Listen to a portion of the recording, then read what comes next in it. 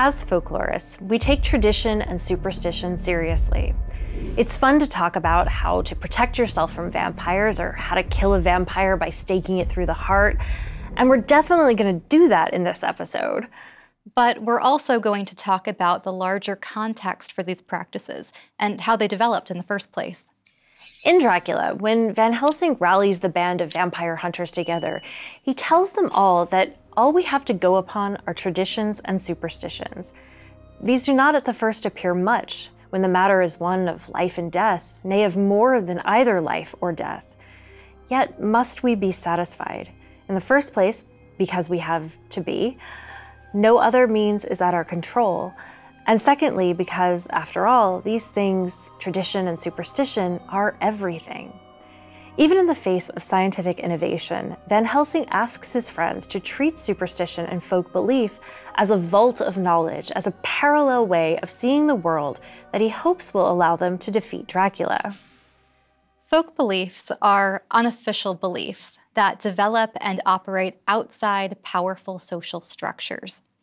As scholar David Hufford points out, most academic theories have assumed that folk belief is false, or at least unfounded, non rational, and non empirical. But the thing is, these beliefs can tell us a lot about how people experience and make sense of the world. Beliefs don't just appear out of thin air, out of context. They appear because of a reason. As Hufford adds, much folk belief is reasonable, that it is rationally developed from experience. That is to say, the reasoning involved in many such beliefs utilizes methods of inference based on observations which are commonly accepted as valid. Hufford's groundbreaking theory argues that many supernatural beliefs are rooted in reasonable, logical attempts to try and make sense of real bodily or cultural experiences. Now, Hufford is not arguing that these beliefs are necessarily 100% true. And neither are we. And neither are we, but rather that they're often rooted in observations and inference rather than neurotic defenses or overwhelming biases or wild flights of fancy. If we apply Hufford's theory to vampires, then we can see how folk beliefs about them are not wholly irrational, nor are they ridiculous in their context. With that in mind, we're going to take a close look at some of the superstitions and strategies invented over the years with the hope of protecting oneself from vampires and also perhaps containing and killing vampires in order to reveal what believers may have been thinking and experiencing. As we do this, as we go through all of these strategies, it's important to keep in mind that Bram Stoker's construction of vampire lore for the novel Dracula itself is, in the words of leading Dracula scholar Elizabeth Miller, more haphazard than scholarly. Now, she doesn't mean this as an insult. After all, Stoker was not writing a historical treatise or a practical manual detailing how to kill a vampire. That's not what he was doing. He was writing a work of fiction, he was writing a novel. But Stoker drew on whatever supernatural lore or literature he could find, and when he couldn't find it, he'd just make it up. He pulled from authors we've discussed like John Polidori, Sheridan Le Fanu, and others. He pulled bits and pieces from vampire folklore. He pulled things from werewolf folklore. a lot of things from werewolf folklore. Yeah, a lot of things, surprising number of things. All of these different sources are fair game for talking about vampires today, though, because so much of what Stoker put together, all of these bits and pieces that he combined in order to create his vampire, have solidified into the version of the vampire that we now know and that we expect. This means that in Dracula, and in most vampire literature, film, and other more contemporary media, we're not seeing pure replications of actual folk beliefs held by real people. That's not what we're seeing. Instead, we're seeing a kaleidoscope made up of historical facts, folk beliefs transported across culture and language, and literary invention. It's often impossible to pick these elements apart cleanly, but that doesn't mean this avenue is fruitless. Instead, it means that we often learn more about the time in which a vampire story is told or written than the earlier eras that they often describe. Let's begin by looking at one of the classic defenses against vampires garlic. The scent is meant to repel vampires and keep them away from your person and even your home. In Dracula, Van Helsing drapes a garland of garlic around Lucy's neck and fills her room with garlic blooms, which, by the way, are purple and look a little bit like thistles. They're pretty. They're, yeah, they're pretty. This superstition does predate Stoker's Dracula. Garlic as a vampire repellent is mentioned in one of Dracula's confirmed sources, Emily Gerard's 1885 article about Transylvanian superstitions. Interestingly, in some cultures, it's the existence of a strong smell generally, not the actual substance of garlic in particular, that's the problem. In old Yugoslavia, the area now known as Serbia and Montenegro, for example, garlic was one of the things that could be used, but cow dung and anything else, especially pungent, were also very effective. Across cultures, vampires collectively seem to just hate strong smells. As someone with an overly sensitive nose, I'm actually pretty sympathetic. but there's more to garlic's efficacy than its pungency. Garlic has a history of being used to ward off evil spirits generally. In folklore, its protective effects aren't specific to just vampires. Exactly. However, culturally, we definitely associate garlic strongly with vampires, right? At least nowadays. The protective properties of garlic against vampires are so well known and expected that it's frequently depicted as a kind of punchline in contemporary vampire media. Vampires in books or on TV joke about how much they love garlic bread or pretend to faint when garlic is brandished at them. It's, it works as a, something funny. But even when it is a joke, the joke works because of the strength of the convention, we all know that vampires are supposed to hate garlic, which is what makes the joke work. That said, early reviews of Stoker's Dracula often commented that the vampiric fear of garlic was funny for the opposite reason. It wasn't yet a cliche, so to some late Victorians, powerful blood sucking monsters fearing a seasoning broke their suspension of disbelief. However, in folklore globally, plants and herbs have all kinds of powers and these beliefs are often rooted in observation and experience. Very specific cultural literacy determined whether this plant lore is understood as a cliche, a joke, or just good common sense. Perhaps the only vampire repellent as well known as garlic is the cross. This might take the form of wearing a cross on a necklace or a ring, or of carrying a cross to use as a weapon of intimidation. This is perhaps most famously depicted in the 1931 Dracula film when Van Helsing iconically brandishes a cross at Bela Lugosi. While the idea of brandishing a cross as a weapon is largely a literary invention, all these uses of crosses are part of a much larger pattern of invoking spiritual objects and symbols to ward off evil spirits. Because American and European culture is dominantly Christian, there's often an assumption that Christian symbols are the necessary tools for the job, especially because the supernatural is often presented as anti Christian and therefore of the devil.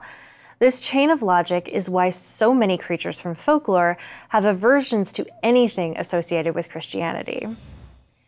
This, of course, covers vampires, but it also extends to fairies, werewolves, and all kinds of other supernatural creatures.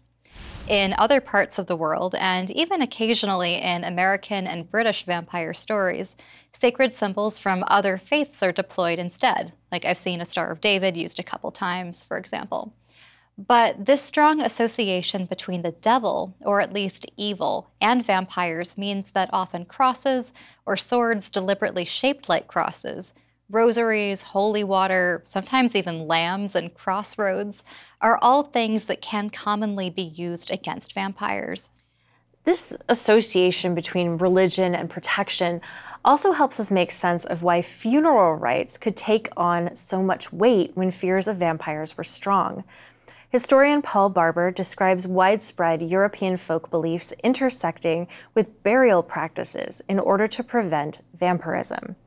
For example, the lack of a proper burial might result in an otherwise innocent body rising again as a vampire.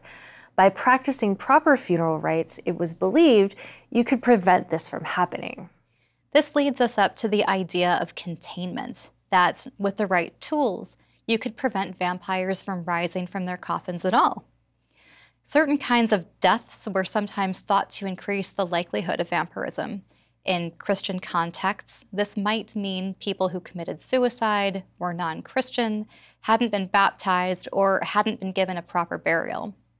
Because these people were considered especially susceptible to vampirism, extra precautions were sometimes taken. Yeah, and some common methods to prevent new vampires from rising might include placing objects in the grave, things like coins or garlic or candles or seeds to count.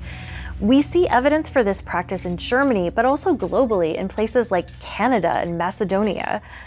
The idea was that the vampire would become too preoccupied with counting these objects to rise from their coffin and do any real harm. Folklorists have literally described this as harnessing the vampire's compulsions. It's a fascinating humanization of the vampire. And if a vampire is a bit human, then perhaps it can be trapped and outsmarted by humans. Likewise, it was thought that if you threw a bunch of little objects into a vampire's path, think like a handful of rice, the vampire would have to stop and count them all, sometimes only at the pace of one a year. Could this be how we got the count, like from Sesame Street? I mean, the folklore definitely mirrors the characterization. So, putting knots in a coffin with a suspected vampire's body was another good distraction method commonly used in northern Germany in particular. Apparently, vampires just can't resist a really good knot. They'll stay in their coffins picking at it forever, which was said to prevent them from rising as well. If you suspected someone had a chance of turning into a vampire after death, this was one way you could at least prevent them from coming out of their grave. So a modern equivalent of this might be putting like a bunch of crossword puzzles or like the Wordle archive into a vampire's grave.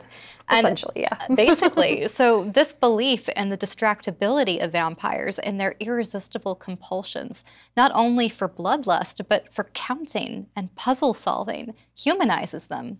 They might still be monsters, but they're imperfect monsters with their own foibles. So perhaps they can be beaten by imperfect humans. Seems logical. No. Additionally, people sometimes put sharp objects into graves to prevent vampires from rising. And there are even some places, like Poland, where they say that all you have to do is bury a suspected vampire just like face down, sometimes with the additional precaution of stones over their heads, and because this will stop them from standing up. Yeah. Other methods of preventing walking included tying the feet of the corpse together in Romania and wrapping the corpse in a carpet in Bulgaria.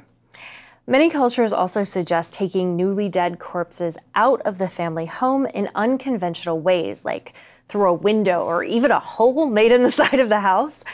Once the body was out, it would then be taken to the burial ground very circuitously, so that if the body rose as a vampire later, it would be confused and not know where they were or how to get back to their former home. While this wouldn't prevent the corpse from rising as a vampire, at least it wouldn't be able to harm its still human family. Another strategy of containment is planting particular vegetation over the graves. Roses, with their thorns, were a well known containment strategy that was used in Dracula.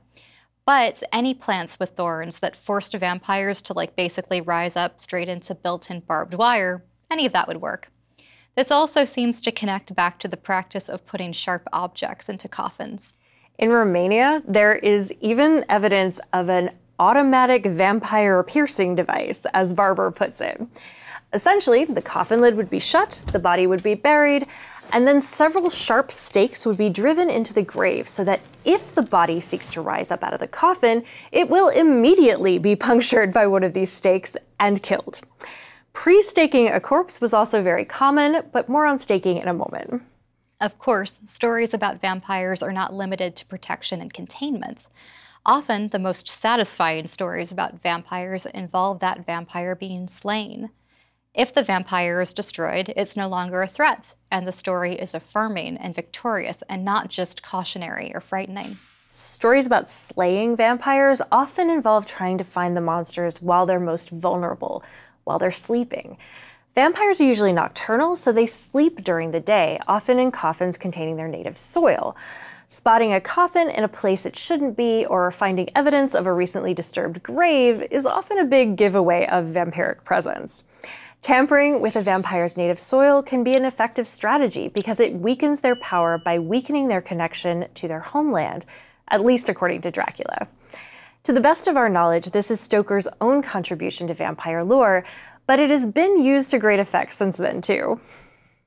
Yes. So, for example, there's a hilarious episode in season three of the TV show What We Do in the Shadows, where the vampires lose their coffin earth during this trip to Atlantic City because housekeeping comes into their room and throws it all away. It's literally a pile of dirt. Yeah, so housekeeping's like, well, I mean, we're cleaning up their hotel room. And the vampires come back and they're like, oh, Oh, no. so this means that the vampires are unable to sleep, leading to just escalating delirium. And finally, in desperation, they send their familiar, who's a human helper, to all of their homelands to collect new samples of native soil for them so that they can, you know, sleep and function. in Dracula, after the destruction of the vampires' coffins and homeland Earth, the primary way for tracking the count is actually through his psychic connection to Mina. This is an especially troubling tool because while it exploits Dracula's vulnerability, it also exploits Mina's. This connection elicits sympathy, sways emotions, and can even be an avenue of transformative power. The fact that the vampire hunters basically use Mina like a dowsing rod to find Dracula reinforces her connection to the supernatural, which is extremely dangerous because it further erodes the boundary between the human and the vampiric. It's ultimately effective, but the cost is that in order to destroy the monster, Mina has to invite the monstrous into her own mind. So, once the monster has been found, how do you kill it? Sometimes the method is surprisingly mundane, or at least not attuned to the supernatural. Stoker's Count Dracula is slain by having his throat sheared through and being stabbed in the heart, which is, you know, gruesome, but also a perfectly effective way of killing a human. Pretty sure that would kill anybody. Pretty sure. But because supernatural strength and healing properties are often tied up with conceptions of vampirism, many methods of killing them have to be very specific in order to be effective. The most popular and widespread method for killing vampires is staking them through the heart. Most famous vampire hunters, like Buffy from Buffy the Vampire Slayer, the TV show, use them. To be fair, this would kill a normal human too. Yep. You know, if you ram a giant piece of wood through someone's heart, you know, they're not going to walk away from not that. Not necessarily. but there's a magical quality to staking as well. In some stories, what the stakes are made of, their composition, makes all the difference. In the Baltic area, for example, tradition states that the appropriate wood to make a stake is ash. In Serbia, it's hawthorn. Recall that while Stoker's Dracula is killed with knives, other vampires within the novel, like Lucy, are staked. This method of killing vampires is definitely mentioned in Emily Gerard's article about Transylvanian superstitions, and it's also present in other vampire literature that predated Dracula, like Varney the Vampire and Carmilla. Stoker was definitely familiar with the idea that staking vampires is an effective way to kill them. This trope continues till the modern day. We've mentioned Buffy already, but it, it remains one of the most common ways to kill vampires across all kinds of media. In the 2013 film Only Lovers Left Alive, which we adore beyond reason. Exactly. staking is reimagined when the protagonist, Adam, a vampire who is suffering from depression, considers committing suicide using a gun loaded with a wooden bullet.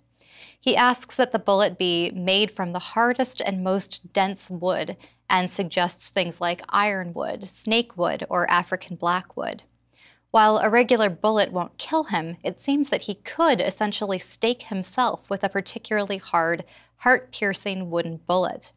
In this way, staking is updated and made more frightening in context by involving a more modern weapon that is implicated in the vast majority of suicides among men in the US. Another traditional way to kill vampires is decapitation. This method appears in the folklore of German and Western Slavic people. This is one of the things that happens to Dracula, at least as we interpret it. His throat is cut and he's also knifed in his heart. Stoker, writing as Mina in her journal, describes it this way On the instant came the sweep and flash of Jonathan's great knife. I shrieked as I saw it shear through the throat, whilst at the same moment Mr. Morris's bowie knife plunged into the heart. It was like a miracle, but before our very eyes and almost in the drawing of a breath, the whole body crumbled into dust and passed from our sight. Sheer through the throat definitely seems to imply a decapitation. Spades were actually often the particular weapon of choice for this, though, particularly spades owned by religious people like sextons, the people who would look after churches and churchyards. That seems like a particularly brutal way to decapitate someone. But... It does. Sometimes, because of the vampire's ability to heal themselves, grave dirt would be placed between the severed head and the rest of the body to ensure that they wouldn't reattach, letting the vampire come back to life. People would also sometimes place the decapitated head at the feet of the vampire, so he couldn't reach it and therefore wouldn't be able to heal. If you slice the head off, but you know, don't do something to prevent it from reconnecting to the body, there is this fear that the head and the body could maybe reattach and come back together. This brings us to our first inherently magical mode of vampire destruction, which is, of course, sunlight. Aversion to sunlight has become one of the most famous and recognizable vampire tropes. Interestingly, Dracula himself isn't actually harmed by the sun in the book. Again, he's killed with knives. It's also worth noting that even though Dracula isn't harmed by sunlight, he is heavily impacted by the cycle of day and night. There are times, notably at dusk and dawn, when Dracula is able to become more active or have more influence. Daylight is still significant in Stoker's Dracula, even if it isn't deadly. We actually have a theory about this. We think that because Stoker was reading a lot about werewolves and werewolf folklore when he was writing Dracula, that there might have been some slippage between the categories of vampire and werewolf. This was pretty common pre 20th century, as we've mentioned before. Werewolves are notoriously vulnerable to the moon and to patterns of day and night. So it makes sense if Stoker was reading a lot of werewolf folklore that the patterns of day and night took on significance in the novel that he was writing. If Dracula isn't killed by sunlight, so why do we now almost always assume that sunlight kills vampires? There are a few exceptions, of course, like Twilight springs to mind, where the sun doesn't destroy vampires, it only makes them sparkle, which is honestly kind of an amazing twist on this whole sunlight thing.